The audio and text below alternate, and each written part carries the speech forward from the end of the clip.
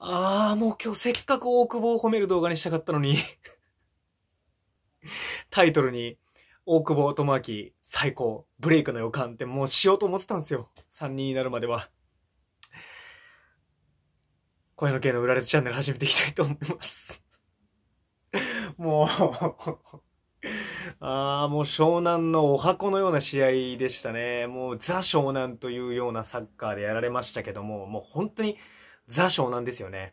まあ、もともとレッツにいた直樹、えー、岡本に点を決められて、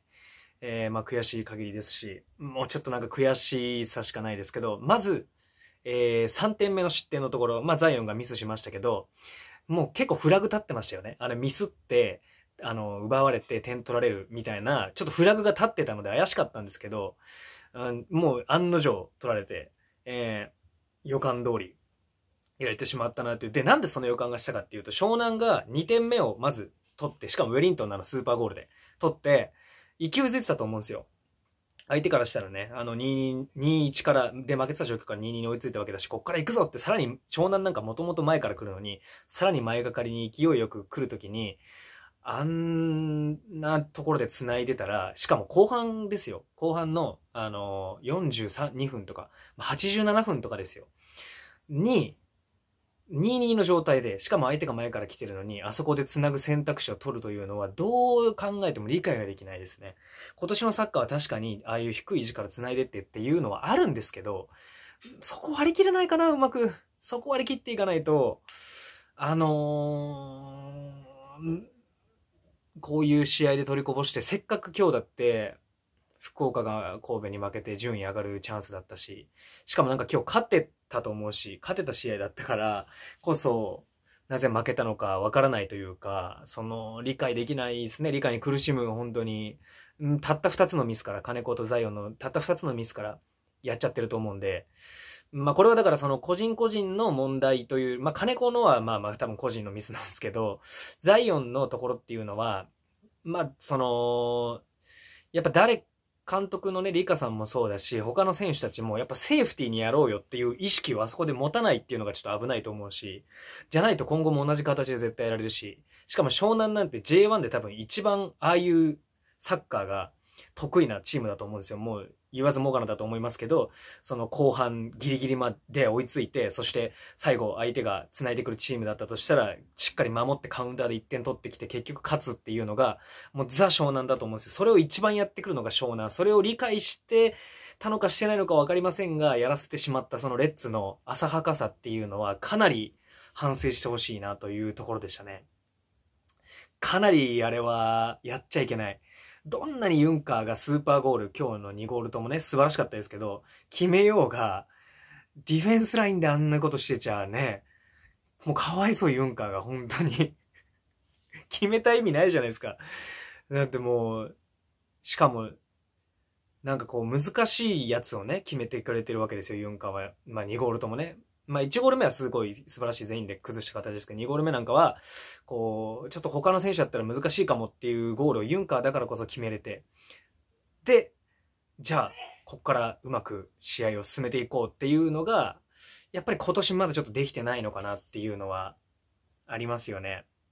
なんかどっかの前半戦でもありましたけども、やっぱ1点差の試合をちょっとうまく守りきれずにっていうのは、本当に今シーズンよく見られるサッカーなので、まあまだちょっとそこら辺がリカさんが、うん、まあ対応できてないというか、どうなのかなっていう感じではありますけども、ちょっとね、リカさんもそうだし、ディフェンスラインもそうだし、他の選手たちから、特にあのザイオンの失点、ザイオンのミスのところに関しては、もうちょっと、こう、シンプルに前に蹴ろうよっていうような声かけができなかったかなっていう、もちろんザイオン自身もそういう意識が持てなかったかなっていうのは、かなりうーん、なんか、もったいない失点でしたよね。うん。あの、いくらポゼッション思考をしていたとしても、やっぱ割り切るとこ割り切ってほしいなっていうのが、ありますよね。もう今日本当に大久保褒める称える動画にしたかったのに、まあユンカーはもちろん。なんなら、タイトル神様、仏様、ユン様にしようとしてましたからね。どっかの実況の人が言ってた。か、大久保大ブレイクの予感、どっちかにしようとしてたぐらいなので、もう勝つ前提でしたからね、僕としては。うーん、いやまあそんな中でもね、良い点をちょっと話していきたいなと思いますけど、やっぱりね、ユンカーのと小泉の関係性がやっぱりいいなと思ってて、まあ、コオロギが途中から出てきて、ちょっとね、ユンカーとコオロギの関係性がやっぱり、まあ、試合を一緒にしてないっていうのもありますけども、あんまり良くないなと思ったのと反面に、小泉とユンカーっていうのはもう本当に通じ合ってるし、ここに出せばあいつはいてくれる、ここに出せばあいつは走ってくれるっていう、そのこのお互いの、信頼関係っていうところめちゃくちゃ素晴らしいし、もうかなりの黄金コンビだなと、J 屈指の黄金コンビだなというふうに思いましたね、見ててね。もう完成してるなと。本当にあの二人だけであんな点取れちゃうんだから あの、ナビスコの時の酒井豪とか空振って、あ、ナビスコルバンか、の時の酒井豪とかが空振って、まあ、ユンカーからのパスで小泉が決めたのもそうですけど、まあ、あの二人は相当通じ合ってると思うので、めちゃくちゃ見てて面白い。もう、あの二人のパス交換を見てるだけで面白いっていうぐらいの、あのー、感じなので、そういう意味ですごく、あのー、ポジティブな面だと思うしね。うん、まあ、それだけ点取れちゃうっていうのは一個大きいかなと思いますし、まあ、あのー、かなり前々から、大久保のことは僕も推してましたけども、えー、まあ、やっぱりこう期待以上でしたね、僕としては。しっかりとフルでプレーを見たっていうのが今日が初めてだったんですけれども、やっぱこう出場しても短い時間だったり、あの、ルヴァンですぐ交代しちゃったりとか、天皇杯はこの前見れなかったとかっていうのもあって、しっかりと大久保をね、初めて見ましたけど、本当にこう、もう大ブレイクしそうだなっていう予感が、大久保に関してはありましたね。うん、まあ、湘南のあの、厳しめのディフェンスをしっかりとね、えー、かいくぐってドリブルをしているあたりとか、決定的なパスを出せるあたりとかもそうですし。うん。まあね、ああいうところをこう、惜しいシーンが他にも得点シーン以外にもたくさんありましたけど、まあ、ああいうとこ取ってればっていうのがもちろん一番なんですけれども、確かにね。うん、まあ、それも一理あると思うんですよ。それも一個あって、まあ、こう、ちゃんとしっかりと取り切るっていうことができてればっていうのはあるんですけれども、それにしてもミスからの2失点というのは、本当に、うん、いただけない？うん、かなっていうね。なんか金子が交代するときにちょっとヘラヘラしてましたけども、ヘラヘラすんなよと思ったし、まあそういう表情なんでしょうね。うん、しゃあないですけど。うーん。まあでも代わりで出た仕事はやっぱりこう前に向くタイミングだったり逆サイドにターンするタイミングだったり、えー、スルーをしてね、あのワンツーで裏に抜けたりっていうシーンもいくつか見られて、その、攻撃的なところの進化っていうのもね、柴戸に関しては見れたので、やはりこう、金子と柴戸見比べた時によりね、柴戸のこの良さっていうのが今日際立ってたかなっていうのはあるので、まあしばらくね、まだ金子はちょっと柴戸の代わりにはなれないかなっていうのと、まあやっぱ柴戸が出たことによってかなり、あの、岩政さんも言ってましたけど、解説の、すごく良くなったのかなっていうのはありますりますね。うん、まあだから本当に、今日正直言うと本当に悪いとこなかったなと思うんですよ。あのー、あんまり。そう、なかったなと思うからこそ、うーん、なんで負けたっていう その感じがね、逆にいいところがたくさん見えた。その、ユンカー小泉頼りになりかけてたチームが、やっぱ大久保だったり、まあ、達也もね、しっかりとこう、まあ、あの達也の1対1も決めてほしかったですけどね、達也もあの自分の役割を果たしていたし、それぞれね、まあ、伊藤も今日非常に良かったなと思いますね。あの、奪ってからそのまま攻撃参加するあたりとか、ああいう姿勢が、あの、どんどん出てきてるっていうのはいいと思うし、これからも、そこはどんどん見せてほしいなというのはありますね。うん。だし、こう、秋元が相変わらずね、こう、やっぱりディフェンスなのであまり目立たないですけれども、もう、跳ね返しまくってたし、1対1は全部勝ってたと思うし、うん、まあ、ヘディングでね、あの、失点のシーン、3点目岡本に入れられたシーンなんかもしっかりとヘディングであそこでね、触るっていうのも難しいと思うんですけど、まあ、触ってね、えー、っていう、その、もう秋元のあの、献身的というか、もう、ゴリゴリに、もう絶対ボールは触るし、えー、まあそれで攻撃参加もしてねっていうのは本当素晴らしいなと思いますし。うー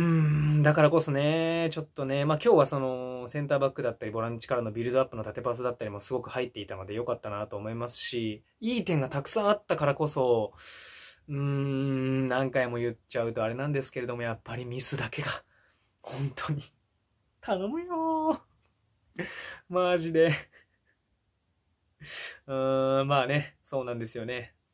もうザ、本当にザ湘南というか、本当に湘南のお箱の戦い方だったなというふうに、まあその術中にはまってしまったなっていうのがありますよね。まあ悔しいですけれども、まあ、あの、次、また3連戦ということで、次に試合もありますし、えー、まあ切り替えてね、まあ良くなって、かなり良くなってきてると思うので、あの、個人技がね、あの、個人ですごく打破できる選手が出てきたり、打開できる選手が出てきたりとか、あの、攻撃的な面ですごくいいところが見えてきてるので、あの、可能性を今まで以上にさらに攻撃に関して感じられているっていうのがあるので、えー、そういう面で言うとね、非常に、あの、明るい素材、そういう部分は明るい面なのかなというふうに思いますので、そこは伸ばしていっていただいて、ちょっとあの、時間帯によって、ポゼッションするのか割り切って前に蹴るのかっていうところだけやっぱ改善していただいて、あの、ザイオンのようなミスが出ないように、えー、やっぱフラグ立ってたと思うんで、本当外から見てると、もうありありとこっちに雰囲気が伝わってたので、あそこでミスして取られてカウンター食らって失点するみたいな、ね、うん、のがありありとちょっと雰囲気としてこっちに伝わってきてたので、やっぱそこをしっかりと選手たちも監督も、えー、まあベンチの選手たちも含め、スタッフも含め、感じ取ってね、誰かが伝えてほしかったなっていうのは、ありますね。うーん。まあ、もし僕がゴール裏にいたりとか、あの、声が出せる状態でレッツファンが、あの、裏にいて、ゴール裏にいた場合、あの、ザイオンに対して、えー、キャラキャラキャラキャラってね、あの、繋がら繋がらキャラキャラキャラって言ったらもしかしたらザイオンが蹴ってたかもしれないですけれども。うーん。まあ、そういうのも含め、ちょっとめちゃくちゃ本当に悔しい敗戦でしたね。今日は勝たなあかん試合でした。はい。まあそんなわけでね。まあでも明かり材料もさっきから言ってるようにあるので、えー、明かり材料を見て、しっかりと